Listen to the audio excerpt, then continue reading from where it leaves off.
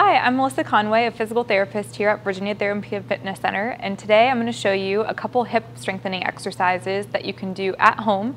All you need is a band. So here's our first exercise. So what you're going to do is keeping your feet together in a band around your knees. Just move your knees in and out nice and slow. And you should start feeling this right through your hips. Our second exercise is a sit to stand with the band around the knees. So you're just going to touch down to the chair and stand straight back up. So our third hip exercise is a sidestepping with the band.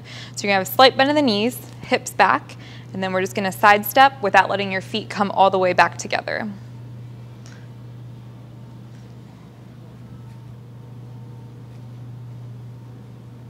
All these exercises you're going to complete until you feel some muscle fatigue, but you shouldn't have any discomfort with them.